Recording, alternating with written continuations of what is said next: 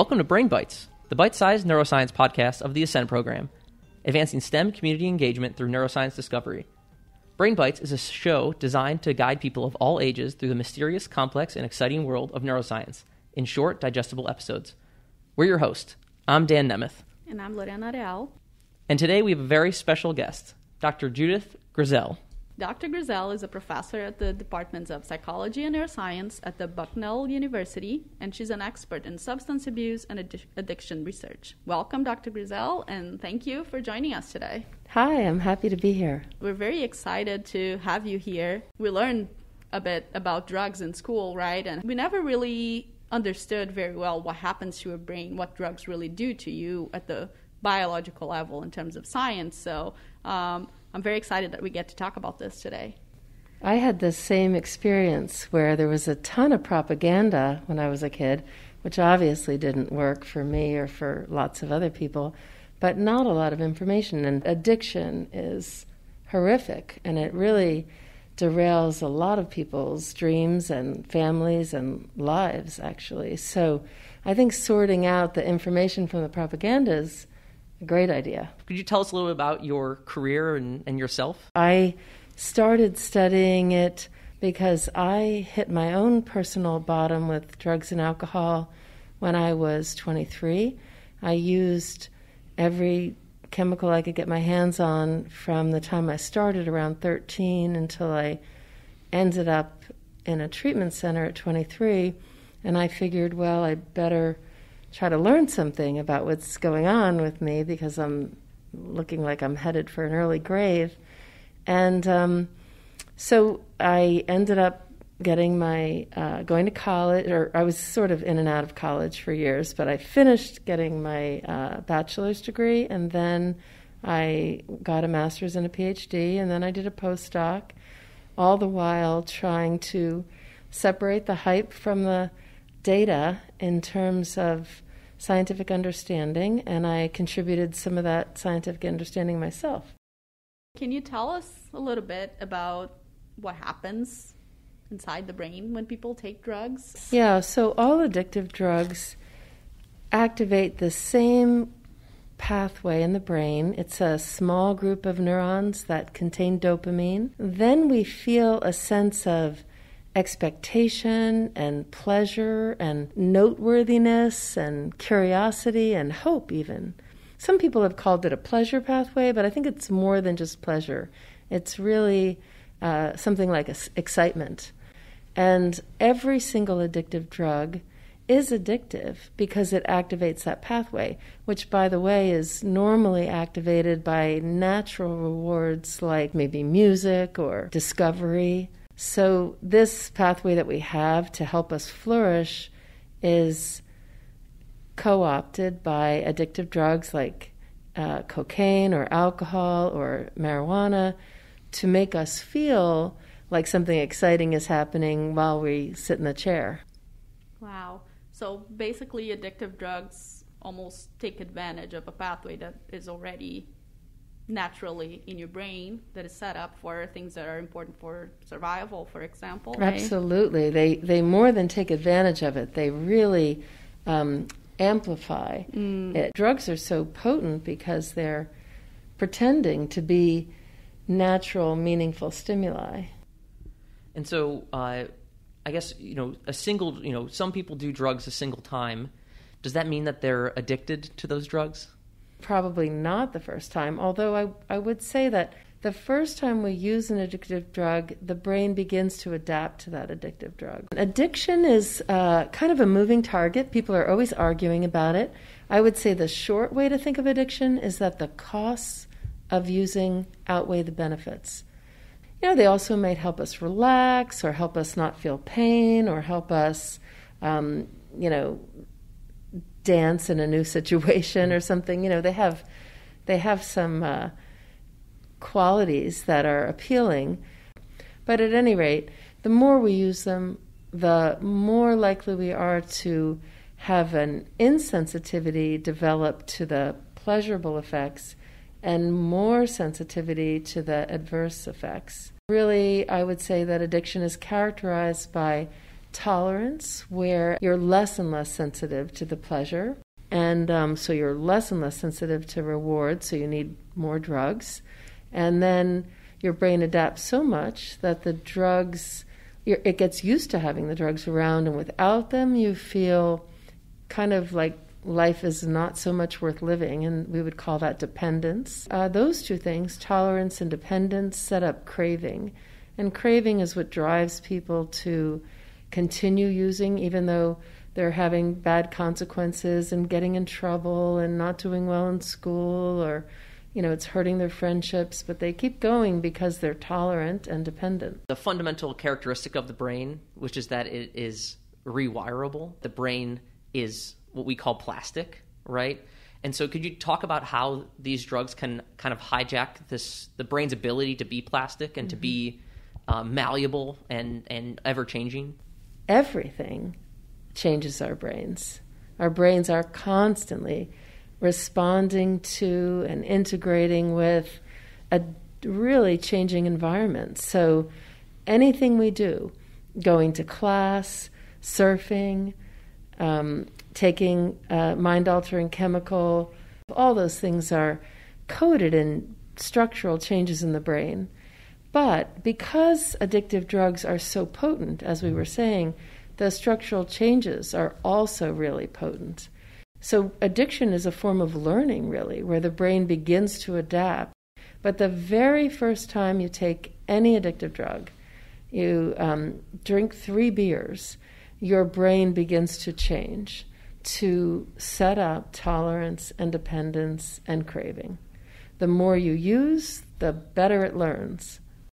So, Dr. Grisel, you mentioned that you tried alcohol for the first time when you were around 13 years old, right? I think that's a very important point for us to discuss, not only because of our most of our audience, um, right, which are around that age, but adolescence is a critical period for brain development, right? So, isn't there increased risk to addiction when the substance use starts around that age? Absolutely. And for just the reasons Danny and I were discussing, that when you're an adolescent, so about the time between puberty and I would say neural adolescence goes through about age 24, 25, when the brain is kind of done wiring up the main highways and byways.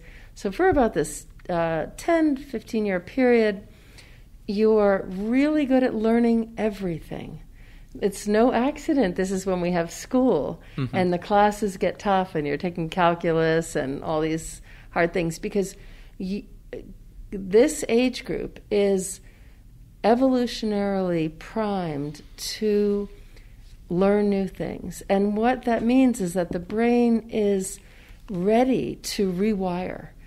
It turns out that if you start drinking before you're 18, you know, to the point of getting drunk, not having a sip, but getting, you know, tipsy, your chance of developing an alcohol use disorder is about one in four.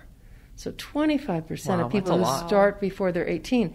And for every year earlier than 18, you increase your risk by about 7%. Oh my wow. God. So because I started right around my 13th birthday, I was much more likely to have a problem than not, which I definitely did.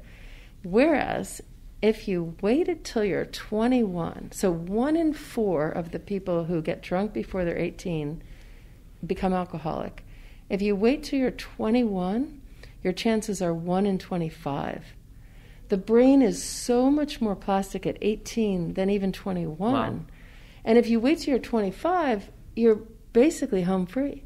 I think I'm always going to have a problem with alcohol if I drink. So I haven't had a drink in over 30 years, but don't make my mistake. You know, I think uh, it's it's worth putting it off. It does make sense from a scientific perspective to let your brain develop without addictive drugs.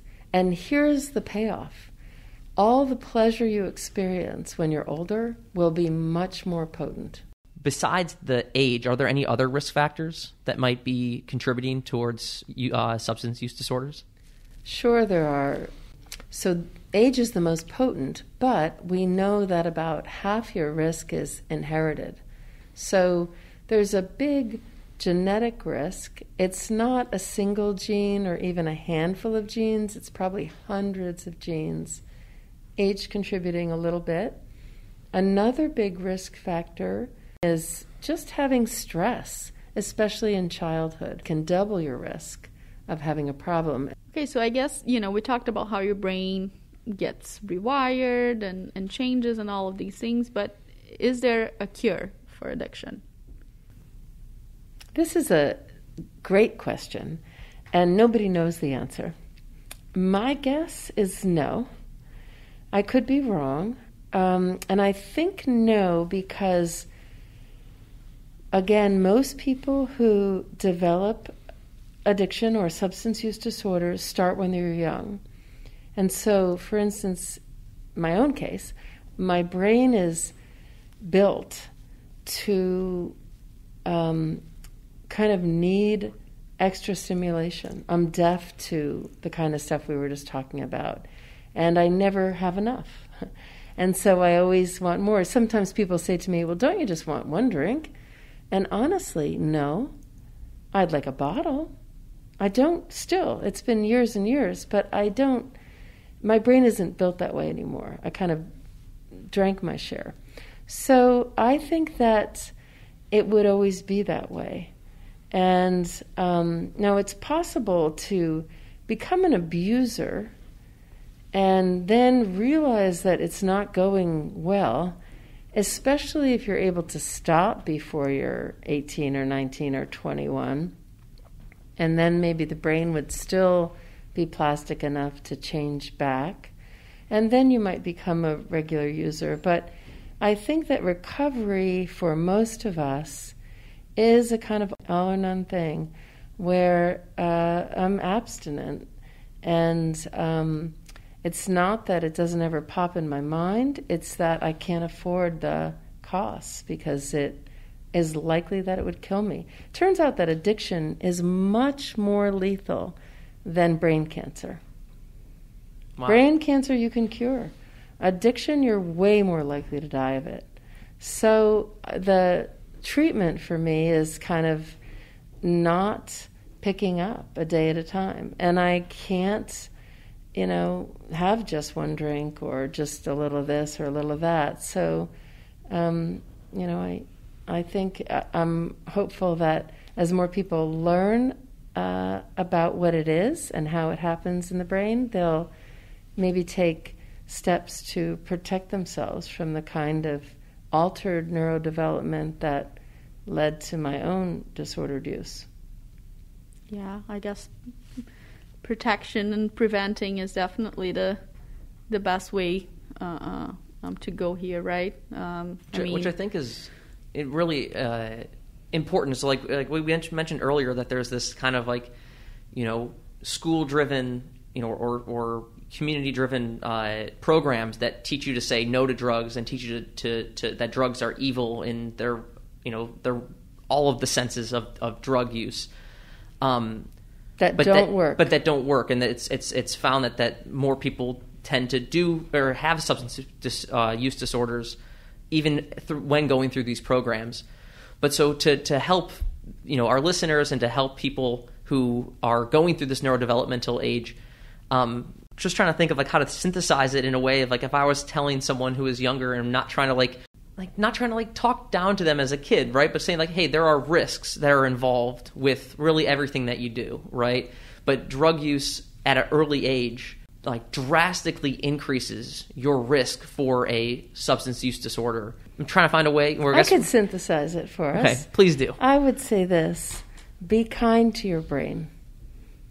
Your brain is an amazing organ. It's in, it's the most complicated system in the universe, and it's really well designed to help us flourish.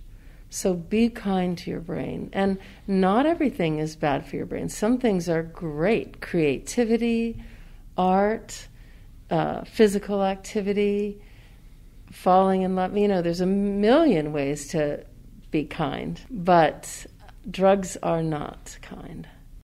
Well, thank you so much, Dr. Grisel, for joining us today. Um, it's been um, fantastic hearing about your own story. Thank you for sharing not only your personal story, but all your knowledge and your science. Um, it's an honor for us to have a New York Times bestseller um, author, um, as well as a, uh, an amazing um, researcher. So her book, ne- Never Enough The Neuroscience and Experience of Addiction, is available. It's fantastic. Thank you. And can I just say that if anybody yes. reads the book of your listeners and they have a question, that's my favorite kind of email. Oh, that's lovely. So find me and send me your question, and I'll write back as quickly as I can. Awesome. We love that. Um, and for you listeners, if you would like more information about drugs and substance abuse, we have some resources that we put on the caption below. Um, that includes the NIDA Teens website that contains a lot of reliable information and even some fun quizzes and activities to test your knowledge on the subject. Remember, knowledge is power, my friends. And also, be kind to your brain. Be kind right? to your brain. and so that's all the time we have today. You can follow us on Instagram at ascend.program, Facebook at ascend program, on Twitter at program.ascend, and on TikTok at ascend program. If you have any questions, please email us at ascendneuro at gmail.com. I'm Danny Nemeth. I'm Lorena Real, signing off till next time. Directed and produced by Dr. Lorena Real and Dr. Danny Nemeth. Music by Max Hentosh. All of this is made possible by the generosity of the Stiles Nicholson Foundation in coordination with Florida Atlantic University, the Max Planck Florida Institute, and the Scripps Research Institute of Florida.